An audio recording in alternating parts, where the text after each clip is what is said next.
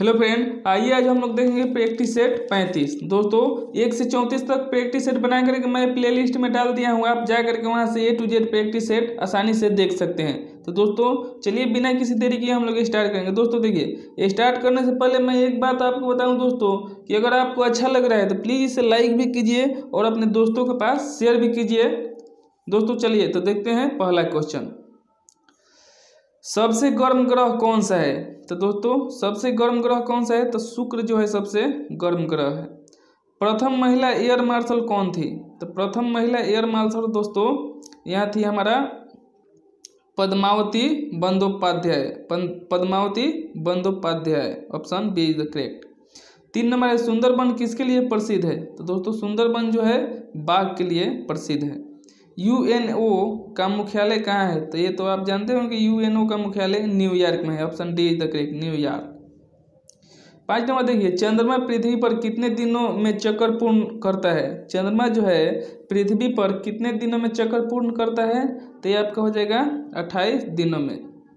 सिंधु सभ्यता थी। सिंधु सभ्यता क्या थी दोस्तों? तो ये शहरी सभ्यता थी। सबसे अधिक गन्ना उत्पादक राज्य कौन सा है? तो दोस्तों, ये सबसे अधिक गन्ना उत्पादक जो होता है, उत्तर प्रदेश में होता है। सबसे अधिक साक्षरता किस राज्य में है? आठ नंबर है, सबसे अधिक साक्षरता किस राज्य में है दोस्तों? तो हो जाएगा, केरल में सबसे अधिक साक्षरता है। राज्य में विधानसभा को कौन भंग कर सकता है? तो राज्य में विधानसभा को कौन भंग कर सकता है दोस्तों? तो राज्यपाल जो है, विधानसभा को भंग कर सकता है। भारत की सबसे लंबी सीमा किस देश की की लगती है। तो दोस्तों, भारत की सबसे लंबी सीमा किस देश से लगती है? तो ये बांग्लादेश से है जो आपको लगती है। कोलकाता किस नदी के किनारे बसा है? तो कोलकाता जो है दोस्तों, आप जानते हैं कि हुगली नदी के किनारे बसा है। पृथ्वी सम्मेलन उन्नीस सौ बानवे कहाँ शुरू हुआ था? तो पृथ्वी सम्मेलन उन्नीस सौ बानवे कहाँ शुरू हुआ था दोस्तों? तो रियो डी जिनेवा में हुआ था। सिलिकॉन वैली कहाँ है? तो सिलिकॉन वैली को हम लोग अमेरिका में है, सिलिकॉन वैली जो है, अमेरिका में है। अलीगढ़ आंदोलन के संस्थापक है। अलीगढ़ आंदोलन के संस्थापक कौन है दोस्तों? तो हो जाएगा आपका सर सैयद मोहम्मद खान, सर सैयद मोहम्मद खान। बांग्लादेश की स्थापना कब हुई?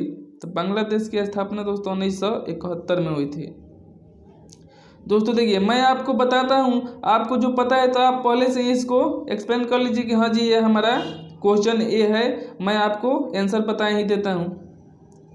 और देखिए सोलह नंबर, ये ऐसी कौन सी धातु है जिसमें, जिसे चाकू से काटा जा सकता है?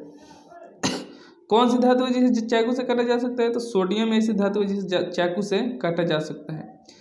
सत्रह नंबर, देखिए, चिकनगुनिया किस परजीवी के काटने से होता है? तो चिकनगुनिया जो है, मस्क्यूटो यानी कि मच्छर के काटने से होता है। किस रसायन रसायन को पूर्णतः प्रतिबंधित कर दिया गया है? तो किस रसायन को पूर्णतः प्रतिबंध कर दिया गया है दोस्तों? तो एक क्लोरोडेन को क्लोरोडेन को।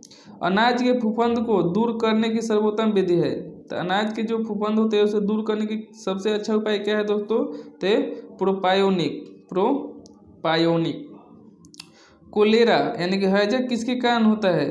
तो हैजा जो है दोस्तों बिबरियो कोलेरे के कारण, बिबरियो कोलेरे के कारण होता है। हाइड्रोजन का रासायनिक यौगिक सूत्र है। तो दोस्तों, हाइड्रोजन का यौगिक सूत्र क्या है? तो एच टू बाईस नंबर देखिए दोस्तों, जहरीला गैस है। तो ये तो आप बार बार पढ़ चुके हैं कि जहरीला गैस है सल्फ़र डाइऑक्साइड और कार्बन मोनोऑक्साइड। पीलिया शरीर के किस अंग को प्रभावित करता है? पीलिया किस अंग को प्रभावित करता है? तो आप लीवर को जानते हैं कि, यानी कि यकृत को प्रभावित करता है। हाइड्रोक्लोरिक अम्ल का सूत्र है। तो दोस्तों, चौबीस नंबर हाइड्रोक्लोरिक अम्ल का सूत्र क्या है? तो एच सी एल कंकाल की आयु का पता किस विधि से लगाया जा सकता है? तो कंकाल की आयु की विधि का पता कार्बन डेटिंग मेथड द्वारा, यानी कार्बन डेटिंग विधि द्वारा पता लगाया जा सकता है। तरंग धैर्य की ऐसा इकाई क्या है? तो तरंग धैर्य की ऐसा इकाई है मीटर। सत्ताईस नंबर देखिए दोस्तों कोल गैस बिक्र, किसका मिश्रण है? तो कोल गैस दोस्तों, किसका मिश्रण है? तो ये होगा सीओ का, यानी कार्बन मोनोऑक्साइड का। इनमें से कौन मिश्रण, कौन सा मिश्रण है? तो कौन सा मिश्रण है दोस्तों इनमें? तो ये आपका हो जाएगा समुद्र की पानी जो है, यह मिश्रण है, क्योंकि इसमें नमक मिली हुई है। सबसे कम तरंग धैर्य है तो सबसे कम तरंग धैर्य किसका है? तो बैंगनी रंग का। सबसे अधिक तरंग धैर्य लाल रंग का। सबसे ज़्यादा भेदन क्षमता किसकी है? तो सबसे अधिक भेदन क्षमता किसकी है दोस्तों? तो हो जाएगा गामा किरणों की। तो दोस्तों, आपने यहाँ तीस क्वेश्चन आसानी से पढ़ लिया और इसको याद भी कर लिया। अब दोस्तों देखिए, अगर आपको याद नहीं हुआ तो आप एक बार इसे फिर से कान में ईयरफोन लगा के आसानी से सुन करके याद कर सकते हैं। तो चलिए देखते हैं भाग तीन यानी कि गणित का। गणित का देखिए, इकतीस नंबर। इसको आप स्क्रीन ले लीजिए, बनता है तो आप बनाइए, नहीं तो मैं बनाने वाला हूँ ही दोस्तों। तो देखिए यहाँ, बत्तीस से सैंतीस। इसको भी आप बनाइए, नहीं बनेगा तो कमेंट में बताइए दोस्तों, मैं जल्द से जल्द आपका ये मैथ वाला क्वेश्चन स्टार्ट कर दूँ। अड़तीस से चौवालीस देखिए, पैंतालीस से पचास। इसको सभी को स्क्रीनशॉट ले लीजिए। जो बने दोस्तों आप अपने से बना करके प्रैक्टिस कीजिए। बाकी नहीं बनता है तो आप कमेंट में बताइए मैं, ताकि जल्द से जल्द आपका मैथ का भी यहाँ क्वेश्चन स्टार्ट कर दूँ। एक प्रैक्टिस से डाल दिया फ़र्स्ट का आप उसे देख लीजिएगा। थैंक यू जय हिंद।